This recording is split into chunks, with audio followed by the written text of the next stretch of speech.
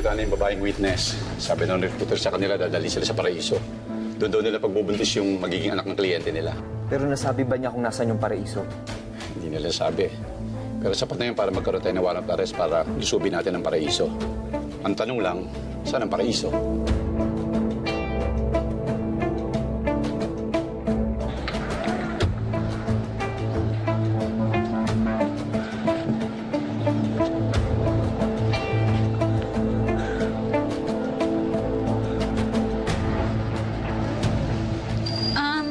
Sorry po. Pero di pa rin po namin mahanap si Ma'am Erica sa loob. Sinabihan na rin po namin yung mga security. Susubukan pa rin po namin hanapin sa loob ng hospital. Sige, basta kung may balita, sabihan niyo ako kagad. Nandito lang ako, ha? Opo. Sige, salamat.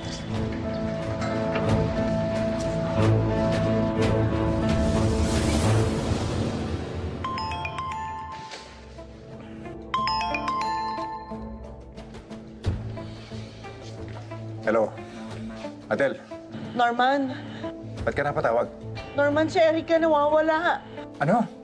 O paano?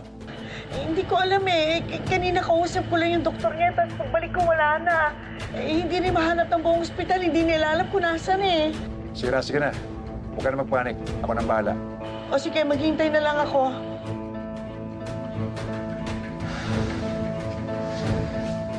May problema tayo.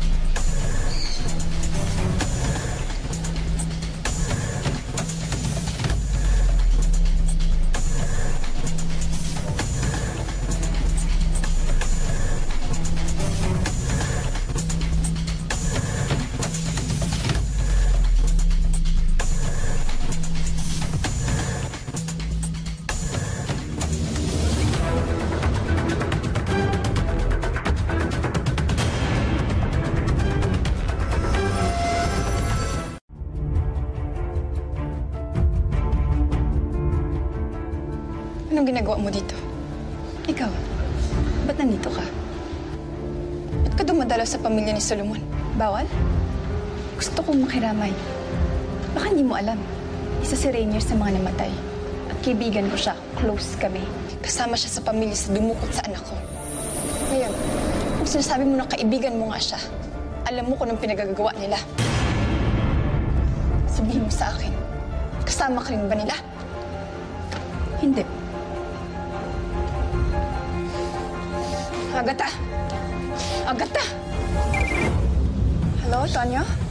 Gary, si Erica lumabas ng ospital. Umalis. Wait, are you sure umalis siya ng hospital, hindi na kidnap? Oo. May isang janitor na nakita sa kanya lumalabas ng ospital. Pero andito kami ngayon sa NBI. Kinokontak siya. But where could she be? Nasaan yung anak ko? Hmm? Sagutin mo ako, nasaan yung anak ko? Ha, Erika? Alam ko, tinatago niya si Jolo! Ko? Ah! Wala akong alam dyan! Sagutin mo! Tumigil ka na sa amin! Ako nga ako pagbintang... Ma'am! Ma'am, tama na yun, ma'am. Tama na yun, ma'am. Nasaan yung anak ko? Yan! Yung babaeng yan! Dalhin niyo yan sa mental! Utak yata yung natamaan. Kung ano nung ginagawa sa akin, aawain mo pa ako? Alam kong may alam ka. Sabihin mo na saan si Jolo. Hindi ako santo pero hindi ako kidnapper. Alam mo ikaw, naghahanap ka lang ng masisisi eh. Pero ang totoo, wala ka ibang masisisi kundi ang sarili mo. Kasalanan mo nangyari sa anak mo. Itong tandaan.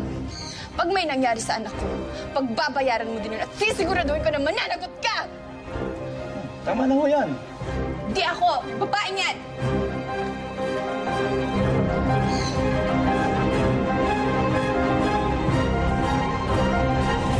Thank you for watching The Blood Sisters. For more videos, subscribe to ABS-CBN Entertainment YouTube channel and click the i button.